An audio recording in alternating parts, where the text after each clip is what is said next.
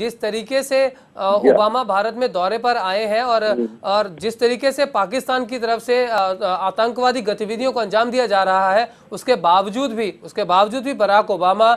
26 जनवरी को गणतंत्र दिवस के मौके पर हमारी परेड में शामिल होने आए हैं। बावजूद इसके और के आतंकवादियों की धमकी भी भारत को मिल चुकी है। कहीं ना कहीं यह आने वाले समय में भारत और अमेरिका के बीच में बढ़ते हुए अच्छे रिश्तों की तरफ़ संकेत जा रहा है।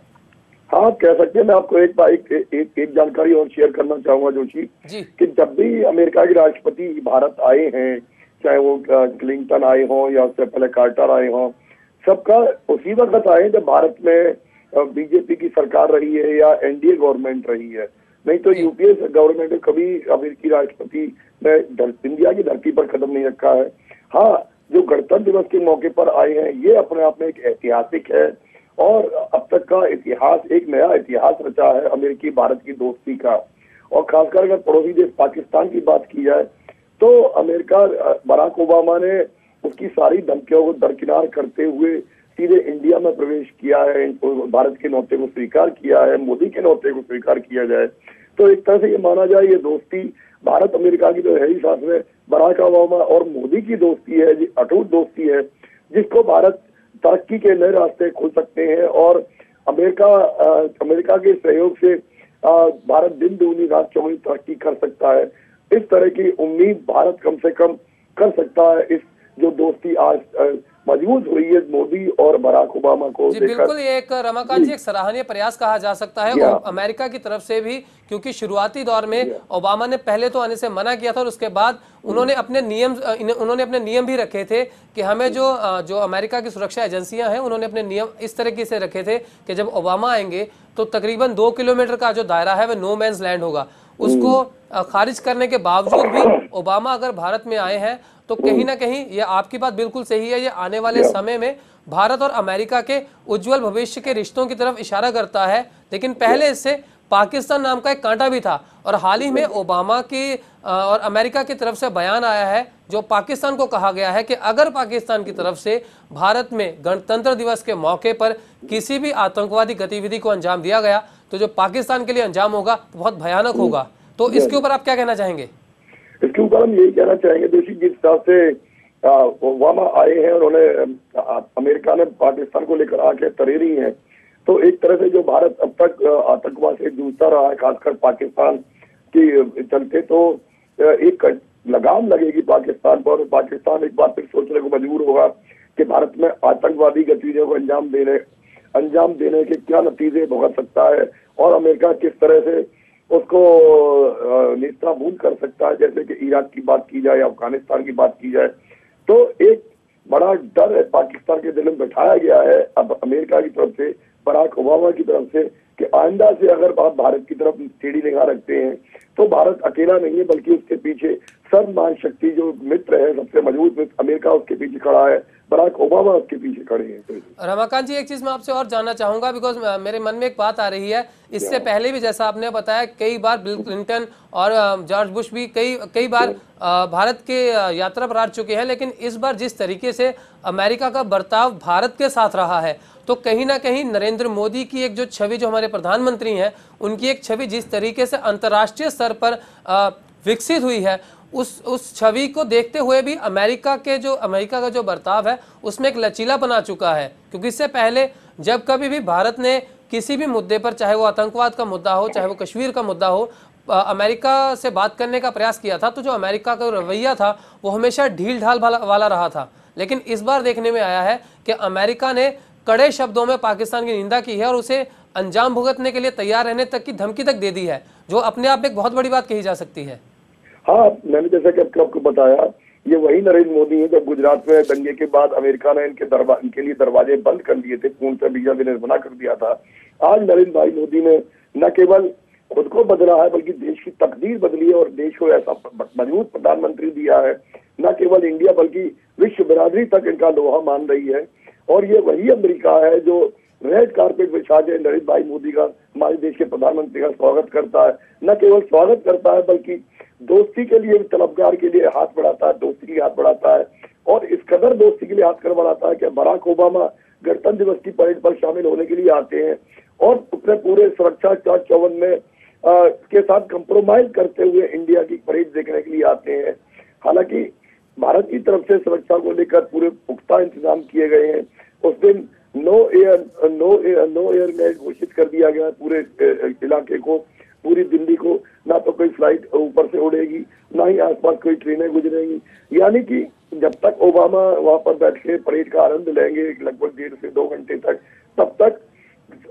मीलों दूर तक अगर देखा जाए तो छावनी में दिल्ली तब्दील रही होगी। जी बिल्कुल छावनी छावनी तो हमें बनानी ही पड़ेगी क्योंकि हमारे देश के सम्मान्य प्रधानमंत्री नरेंद्र मोदी जी ने एक बहुत बड़ा बीड़ा उठाया है जिस उस बीड़े के उस बीड़े के नतीजन ही देखिए तो आज ओबामा हमारे दिल्ली में पहुँचे हुए हैं छब्बीस जनवरी के परेड में हिस्सा लेने जबकि भारत में आतंकवादी हमलों की इतनी धमकियाँ मिल चुकी हैं और कहीं ना कहीं अगर देखा जाए तो अमेरिका की एक छोटी सी लचीलेपन की वजह से ही पाकिस्तान में जो आतंकवादी गतिविधियाँ थी, वो चरम पर थी। लेकिन अमेरिका की कड़ी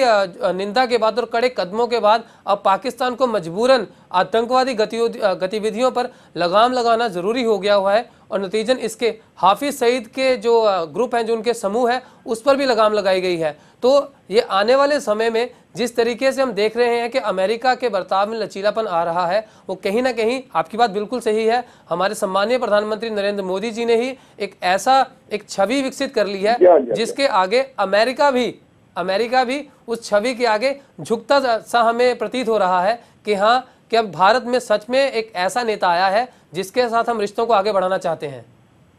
हाँ आप कह सकते हैं जो चीज़ जिस हिसाब से मैंने आपको अभी याद किया कि वो नरेंद्र भाई मोदी जो देश के प्रधानमंत्री हैं इनका और ही ऐसा है जिसकी वजह से न केवल विश्व बिरादरी, बल्कि आज अमेरिका खुद ब खुद दोस्ती का हाथ बढ़ाना चाहता है, दोस्ती की तलबगार है, और दोस्ती करने का इच्छुक है, न केवल दोस्ती करने का इच्छुक है, बल्कि हाथ बढ़ा चुका है, और जिस तरीके से बराक ओबामा इंडिया आए हैं, और पाकिस्तान पर उन्होंने आके तरेरी हैं तो ज़ाहिर सी बात है अमेरिकी भारत संबंध जो पहले गिव एंड टेक वाले होते थे बराबर कैसे संबंध दिखाई दे रहे हैं? अमेरिका विश्व बरादरी में नंबर वन है तो भारत ने भी कहा, भारत ने भी ये जिता दिया है नरेंद्र भाई मोदी के ज़रिए। हाँ हमारे पास भी एक ऐसा मज़बूत प्रधानमंत्री है जो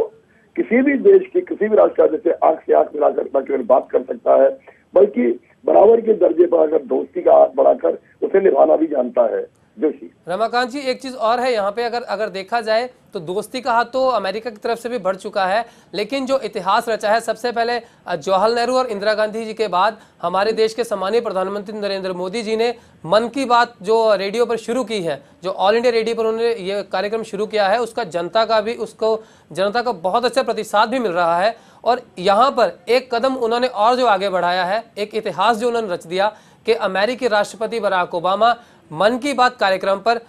नरेंद्र मोदी जी के साथ उनका जो कार्यक्रम है उसको शेयर करेंगे। उनके साथ में उस मंच को साझा करेंगे। ये भी अपने आप में एक एक, एक इतिहास बन गया है कि दिल्ली जो हमारे देश की जनता है वो मन की बात कार्यक्रम पर नरेंद्र मोदी के साथ साथ अमेरिका के राष्ट्रपति बराक ओबामा से भी कुछ प्रश्न कुछ अपने मन के भाव साझे कर सकते हैं। हाँ आप कह सकते हैं आज मन की बात में बराक ओबामा प्रधानमंत्री नरेंद्र मोदी के साथ हैं। और ये दिल्ली नहीं, देश का भी सौभाग्य है, देश की जनता का, कि वो बराक ओबामा से भी रूबरू हो सकती है। हालाँकि अब तक मन की बात के तहत नरेंद्र मोदी के साथ रूबरू होती रही है प्रधानमंत्री के साथ। और अमेरिका के राष्ट्रपति से भी उसे अपनी बात कहने का, रखने का मौका मिलेगा, ये अपने आप में एक इतिहास है। और सीधे सीधे ना केवल मौका मिलेगा, बल्कि रूबरू हो चुकेंगे बराक ओबामा से, जो उनके मन में है, देश को लेकर के, समाज को लेकर के, खुद की समस्याओं को लेकर, आखिरकार बराक ओबामा क्या जवाब देते हैं? ये अपने आप में देखने वाली बात होगी और हाल ही में जो चीज़ देखने वाली आई थी कि मिशेल ओबामा भी इस बार बराक ओबामा के साथ गणतंत्र दिवस की परेड में हिस्सा लेने आ रही हैं और उनको खास तौर पर बनारसी साड़ी भी भेंट की जा रही है। तो कहीं ना कहीं जो हमारे भारत की एक संस्कृति है, उससे भी बराक ओबामा और मिशेल ओबामा को रूबरू होने का मौका मिलेगा। हालाँकि वो पहले भी भारत के दौरे पर आ चुके हैं, लेकिन जिस तरीके का स्वागत उनका इस बार हुआ है, वह शायद पहले नहीं हो पाया था और उसी को लेकर जो हमारे आने वाले रिश्ते हैं, वो आगे तक बढ़ेंगे। इसके बारे में आप क्या कहना चाहेंगे? हाँ आप कह सकते हैं, देखिए, भारत की अतिथि देवो भव परंपरा रही है, सदियों से रही है। भारत अतिथि को भगवान मानता है। और बराक ओबामा, मिशेल ओबामा जब आगे मैं आपको यही बताना चाहूँगा। हालाँकि, पहले तो उनके बच्चों के भी आने की बात थी, लेकिन छुट्टियाँ नहीं मिली, पूरी बच्चों के स्कूल खुले हुए थे, इसलिए वो नहीं आ पाए हैं। और एक कदम आगे उन्हें आगरा भी जाना था, लेकिन आगरा नहीं जा पा रहे हैं, क्योंकि जो सऊदी अरब के सुल्तान हैं, उनका, उनके, उनकी उनकी मौत की शिरकत करनी उन्हें जा करके तो हालाँकि वो दिल्ली में ही रहेंगे लेकिन दिल्ली का चप्पा चप्पा घूमे पिछली बार जब मिशेल आई थी तो एक उन्होंने एक मिशनरी स्कूल में जाकर के बच्चों को संबोधित किया था। तो कुल मिलाकर के ये दो दिन काफ़ी व्यस्त रहने वाले हैं बराक ओबामा मिशेल ओबामा के। इस दौरान उन्हें देश की संस्कृति और रीति रिवाज से रूबरू होने का मौका तो मिलेगा ही। साथ की जो हमारे देश की जो परंपरा है अतिथि देवो स्वागत की परंपरा है उससे भी दो चार होंगे और जिससे भारत के और से और नज़दीक आने का उन्हें मौका मिलेगा। जोशी जी। रमाकांत जी बहुत बहुत धन्यवाद आपका इस पूरे मामले पर जानकारी देने के लिए और ये बहुत ही एक ऐतिहासिक समय आ चुका है भारत में जहाँ पर अमेरिका और भारत के जो रिश्ते हैं वो एक कदम आगे बढ़ चुके हैं। हमारी जानकारी देने के लिए दर्शकों को बहुत बहुत धन्यवाद रमाकांत जी आपका। अब जैसे कि अभी हमारे दर्शकों ने देखा ओबामा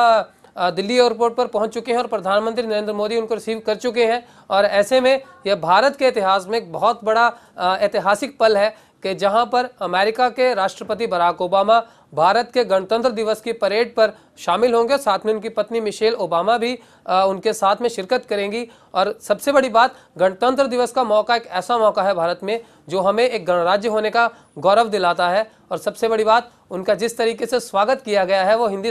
हमारे भारत की संस्कृति के अनुरूप किया गया है। उन्हें तोहफे दिए गए हैं बनारसी साड़ी दी जाएगी उनको। तो उनको कहीं ना कहीं हमारी पूरे भारत की संस्कृति के साथ और गहनता के साथ और गहराई के साथ जुड़ने का समय और मौका मिलेगा और इतिहास बनाने में एक कदम और जो हमारे प्रधानमंत्री नरेंद्र मोदी जी ने बढ़ाया है, वह है ऑल इंडिया रेडियो पर मन की बात कार्यक्रम में बराक ओबामा का प्रधानमंत्री मोदी जी के साथ मंच साझा करना। ये सबसे बड़ी बात है अपने आप में क्योंकि आज तक अगर कोई भी राष्ट्रपति, कोई भी विदेशी नेता हमारे भारत में अगर कभी भी किसी यात्रा पर आया है तो कभी भारत की जनता को सीधे तौर पर उनसे बात करने का मौका नहीं मिला। तो ये कहीं ना कहीं एक माध्यम बना है ऑल इंडिया रेडियो जो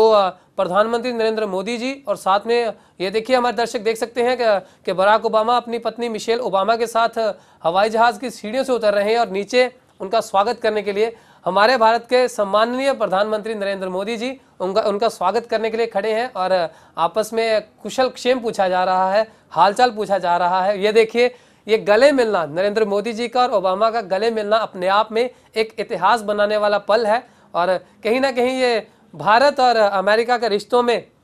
सुधार तो ला ही चुका है और एक उज्जवल भविष्य की तरफ़ इशारा करता है। तो आने वाले समय में हम कुछ कुछ एक दिनों के बाद आने वाले कुछ दिनों में हम, अमेरिका के राष्ट्रपति और प्रधानमंत्री, नरेंद्र मोदी जी को ऑल इंडिया रेडियो पर मन की बात में भी वार्ता करते हुए सुनेंगे ताकि वो जनता के मन के जो भी सवाल हैं, कुछ भी उनके मन के जो भाव हैं, उनको साझा कर पाए। तो बराक ओबामा दिल्ली पहुँच चुके हैं, नरेंद्र मोदी जी उनको उनको रिसीव किया है और हम आशा करते हैं कि बराक ओबामा का ये जो भारत दौरा है, ये अपने आप में एक इतिहास रचे और भारत का उज्जवल भविष्य अपने भविष्य की ओर एक कदम और आगे बढ़ाए।